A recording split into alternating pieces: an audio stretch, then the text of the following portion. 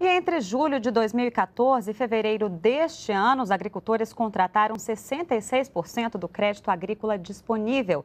Os empréstimos passaram de 103 bilhões de reais. Os recursos fazem parte do programa Agrícola e Pecuário. O desempenho é considerado dentro do esperado pelo Ministério da Agricultura e, se mantido ao final do ano safra 2014-2015, o total aplicado deve superar os 156 bilhões de reais programados.